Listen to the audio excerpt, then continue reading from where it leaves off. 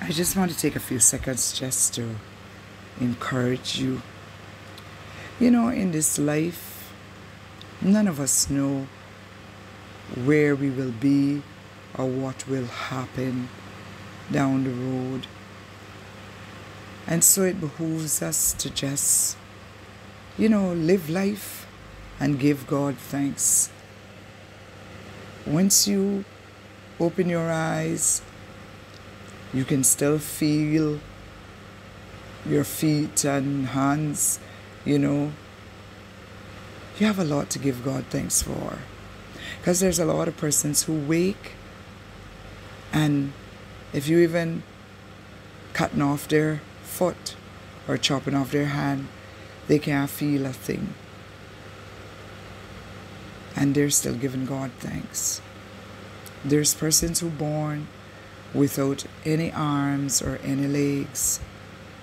And they're vibrant, they're grateful, they're giving thanks. And so I just want to encourage you to let you know that no matter how bad it seems or how bad it looks, you know, give God thanks because where there is life, there is still hope for you. And it's not over until God says it's over. So I, I, I, I, I don't know who I'm talking to or what the Holy Ghost is saying, why He would have me just hop on and do this. But I do believe in my heart that there's someone who needed to hear this. There's someone who has been feeling discouraged, overwhelmed, you know, feeling as if there is no hope, asking questions why does this have to be happening to me and my children or grandchildren? You know, why do I have to be going through this or going through that? You know, but God sees and He knows, and He knows exactly where each and every one of us is. He knows exactly what you are facing. He knows exactly what I'm facing. He knows exactly what all of us is facing, and we give God thanks.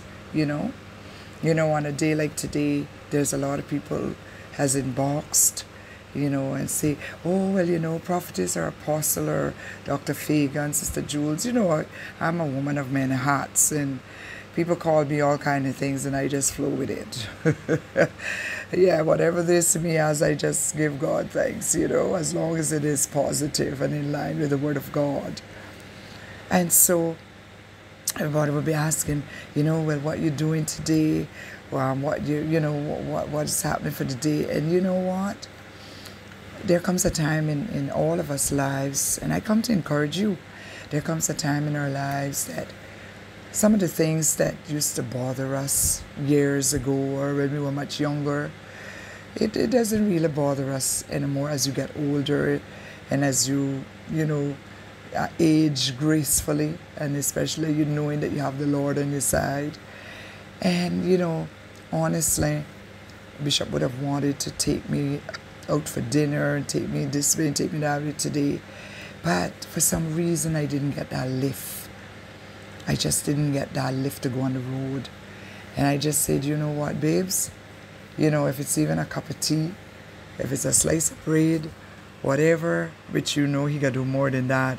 He cooked up breakfast, he cooked up a storm. I'm telling you he really, he really did it as usual. But I say to him, I say, you know what, Lee, don't stress yourself. You know, I'm, I'm, I'm fine. I'm, I'm, I'm grateful. I just don't feel like going on the road, and I'm not going to push it. I'm not going to do that. And so I've enjoyed my day at home like any other day, giving God thanks, not pressuring my husband about this or about that I'm grateful for what he did. And, you know, I got water to drink, I got drinks in the fridge, food to eat. You know, there's a lot of things that I can give God thanks for, and I have done that. And so I hope that you're counting your blessings also and that you're giving God thanks. Don't murmur about nothing. Don't allow the cares of this world, material things, to, to, to to to you know cause you to be miserable you know cause problems in your marriage and cause problem with your parents or with your children or whatever. You know, don't do that. You know, count your blessings. Most of all, give God thanks for life. He has spared your life.